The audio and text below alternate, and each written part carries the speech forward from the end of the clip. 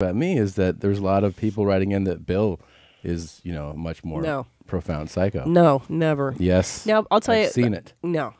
No, No, I, I, no. I wouldn't. I wouldn't disagree with that. But I, See? but I also No. think that like he Even- just he fits the. Uh, it's I get away with it being a redhead. So everybody thinks, oh, Opie, Ron Howard. They think like, oh, En- yeah, the guy who doesn't get the girl, the uh, the fucking awkward. That's what they think.